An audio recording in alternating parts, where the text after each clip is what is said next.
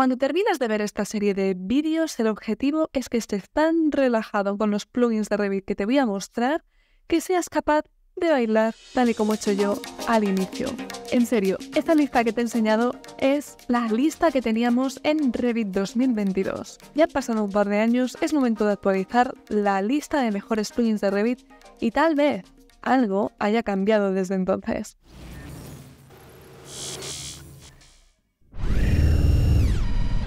Si eres nuevo en el canal, mi nombre es Luisa Santamaría, arquitecta, consultora BIM y CEO de Especialista 3D.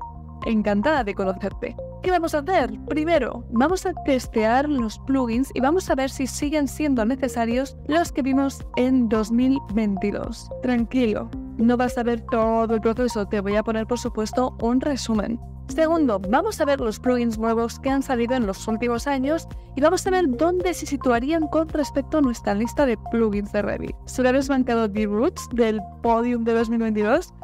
Es posible. Y por último, lo vamos a ordenar todo en función de su utilidad que para eso estamos aquí en Especialista 3D. Una de las primeras cosas que os quiero decir es, dejemos de meter AutoSection Box entre los plugins favoritos de Revit. Eso antes incluso de estrenar la lista. ¿Por qué? Me dirás, bueno, porque en 2024 ya no hace falta. Pero como los creadores de contenido se copian continuamente unos a otros, creo que seguirá apareciendo en las listas durante mucho tiempo. Entonces, si tú vas a revisar cualquier lista de plugins de Revit y ves AutoSection Box, ya puedes saber que esa lista muy actualizada no es que esté.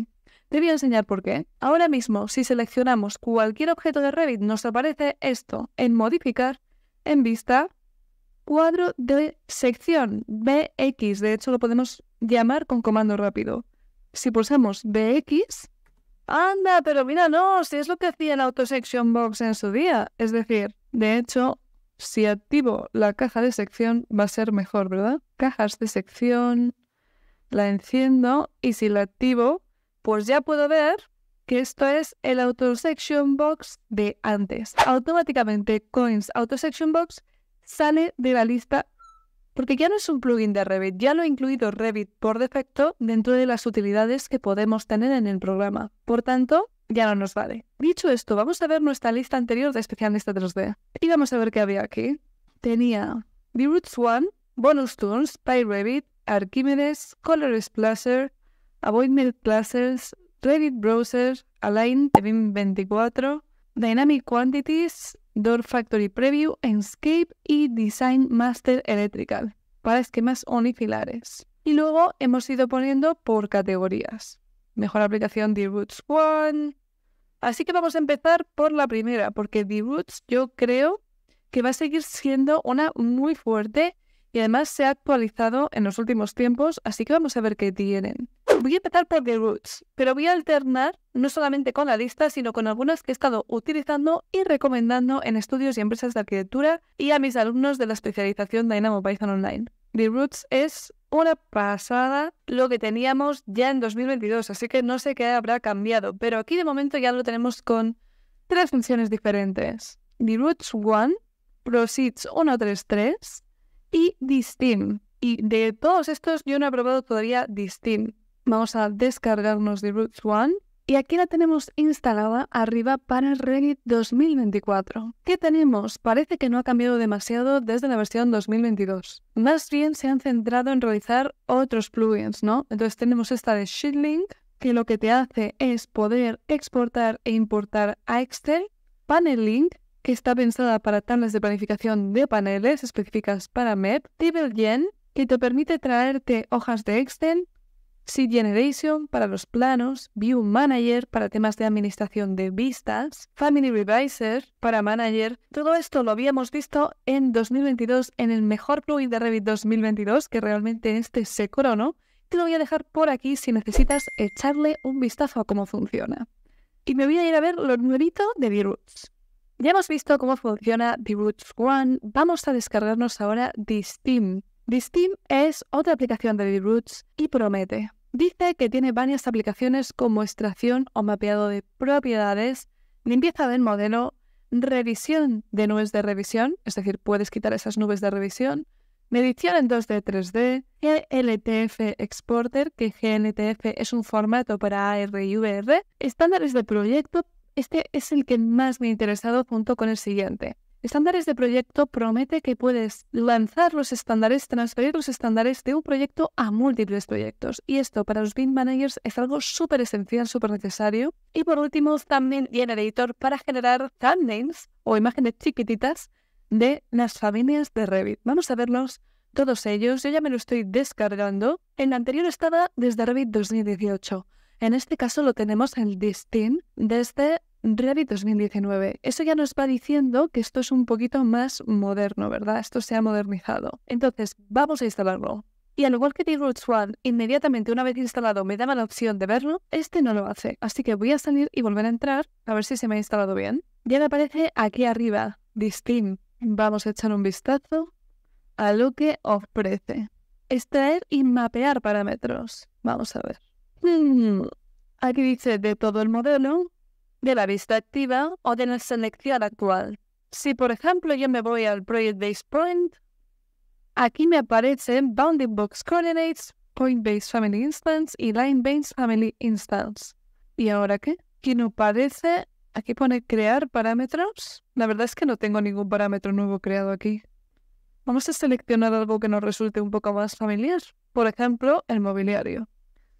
Si le damos aquí a mobiliario, Family Instances. Mm, y vamos seleccionando aquí alguna cosita. Vamos a ver lo que hace. Mapear y extraer. ¿Y qué dice? Pues que son estos parámetros, si son de número de sí de no, dónde se tienen que agrupar. También podemos cambiar el tipo aquí mismo, dónde se tienen que agrupar y dónde está mapeado. Y le podemos dar a extraer. Dice crear parámetros. Si le damos a extraer, parameters were successfully extracted. Ok, ¿y dónde me lo estás extrayendo? Vamos a ver si se han creado parámetros aquí. Gestionar. Parámetros compartidos. No se han, no se han creado parámetros. Vamos a echar un vistazo a los parámetros de proyecto y veo que me ha generado este tipo de parámetros que antes no estaban. Si voy a este parámetro, le voy a dar a editar, vamos a ver dónde está aplicado. Está aplicado en mobiliario, que era lo que yo tenía seleccionado. Si voy a seleccionar un mobiliario, vamos a ver qué dice. Me pongo por aquí, mobiliario, seleccionar todos los ejemplares en todo el proyecto. Aquí en esta parte de la izquierda me aparecen los parámetros que ha generado D-Roots. D-Roots Steam en este caso. Me parece súper útil para desentrañar esos parámetros ocultos del proyecto y poderlos tener fácilmente para trabajar. Una cosa que me gustaría sería haber tenido el ID entre estos parámetros. Voy a ver si eso está. Porque la verdad que el ID es uno de esos parámetros que siempre están ocultos y que sientan fatal. Entonces voy a seleccionar de nuevo mobiliario y en otros parámetros comunes aparece el Git y el Element ID. Esto, la verdad que es un puntazo de roots. Voy a seleccionar todo y le voy a meter el Git y el Element ID y vamos a ver si lo podemos extraer, map and extract son todos los IDs y todos los Gits de todo nuestro modelo. Y vamos a decirle que los extraiga y vamos a ver si ahora aparecen en esas propiedades, porque la verdad que creo que esto es súper útil, puesto que el ID y el Git son parámetros que siempre están ocultos y que no nos aparecen, por ejemplo, en las tablas de planificación.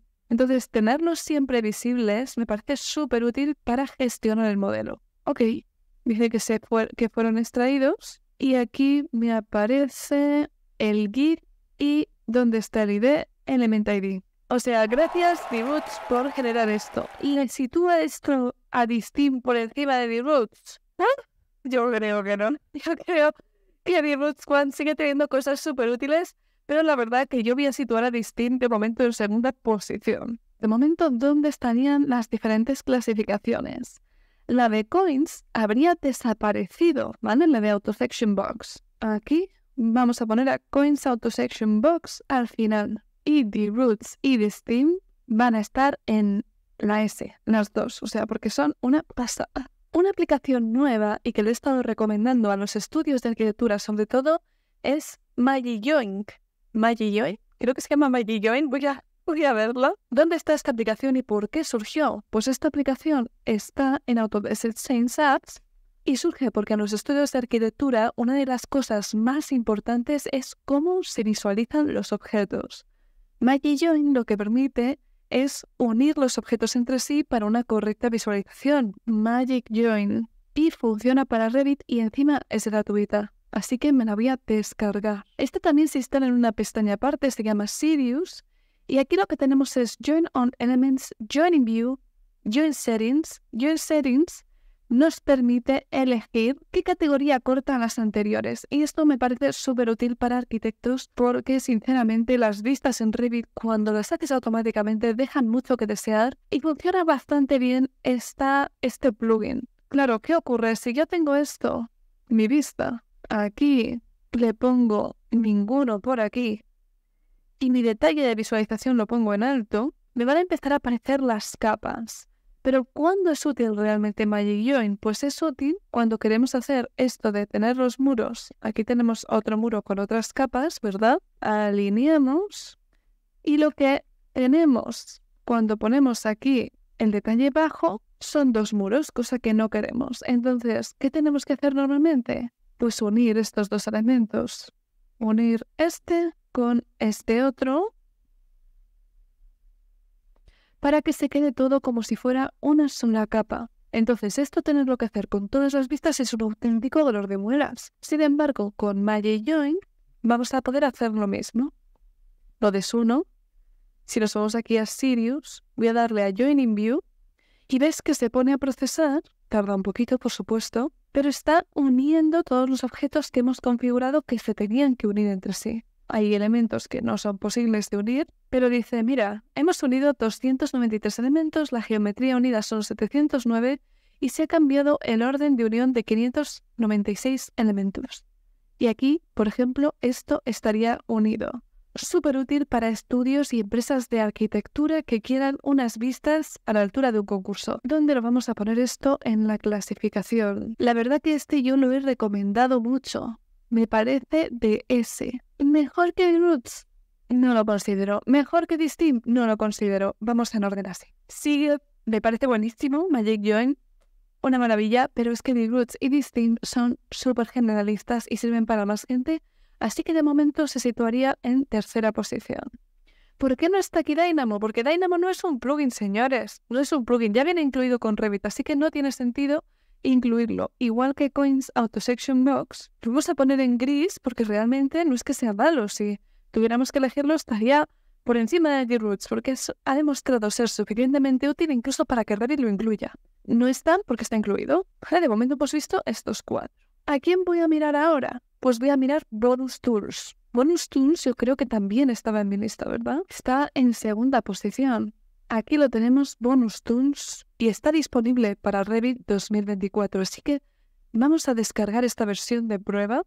No creo que me dejen usar la versión de prueba. Yo he pagado ya Bonus Tools muchas veces, pero vamos a ver cómo se ha modernizado. Esta aplicación es de pago, ¿ok? Las anteriores eran gratuitas, así que voy a ser un poquito más dura, seguramente metiéndole clasificación. Bonus Tools ha detectado que efectivamente tengo cero días de de cuartelillo, así que me la voy a comprar. Todo sea por este vídeo. Vamos allá. Bonus Tools, he comprado. ¿Me mandas a Activation Key? Pues todavía no me lo has mandado, así que me voy a pasar a otro. Igual has perdido tu oportunidad de estar en este vídeo. Yo no digo nada. Me voy a pasar a una aplicación que ha estado sonando bastante y que hay bastante hype con ella, que es esta de Glyph. Y asegura ser de IA para Revit. Vamos a verlo. A ver si no está lleno de if else esto, pero que ha generado bastante hype, sobre todo en el test. Entonces aquí dice mm, licencia, en teoría tengo el periodo de prueba. My trial has expired. Seguro que lo he probado en alguna otra ocasión. Ok, yo me iba a ir a la segunda de la lista, a Bonus Tools o a Glyph, sinceramente. Pero ambas han fallado en proporcionarme la contraseña incluso comprándolas. Así que, ¿qué voy a hacer? Esas las voy a dejar para el próximo vídeo y me voy a pasar a la lista. La lista, ¿cómo como hecho de menos a Punset. Las neuronas están fritas. Me voy a pasar a la lista de plugins de Revit de las Autodesk Exchange Apps y he puesto las más descargadas. ¿Cómo se hace eso? Pues me voy a Autodesk Exchange Apps. En este caso es en appsautodesk.com le doy a Revit y dentro de aquí le doy a mostrar todo. Una vez que le dé a mostrar todo, fíjate que aquí en más relevantes pone Nonica. Si queréis que pruebe Nonica, que tiene un trial de 30 días, que seguramente se me pase y acabe teniendo que pagar, pues dejadmelo saber en los comentarios de este vídeo y en el siguiente aparecerá esta que está entre las más relevantes según Autodesk. ¿Más relevante será que pagan para estar ahí? No lo sé, no lo tengo claro. Por eso, yo en vez de irme al más relevante, me voy a ir a más descargado, porque eso no se puede falsear. Esos son números, amigo. Y dentro de los más descargados, me voy a ir a una que usa bastante vigente, que es esta de Room Finishing. ¿Qué es esto? Acabados por habitación, de BIM 42. Me lo voy a descargar y ya voy teniendo llenita la barra de tareas de las apps. Ciertamente, ciertamente. Vamos a ver esta de Room 42, vamos a instalarla. Y esto ya no me entra en la barra. Creo que lo que voy a tener que hacer es cerrar y volver a abrir para que me aparezca. Mientras cierro y vuelvo a abrir, de momento tenemos aquí en el top of the pops Roots One, This Team y Magic Join. Desaparecida de la lista Coins Autosection Box. Os he dicho que si queréis que pruebe Nonica, me lo dejéis en los comentarios y tengo por probar también Glyph y Bonus Tools, a ver si deciden enviarme el número de activación. Vamos a ver esta de Room Finishes. Aquí me aparece, ¿vale? Dentro de complementos me aparece Skirting Board. ¿Qué es eso de Skirting Board?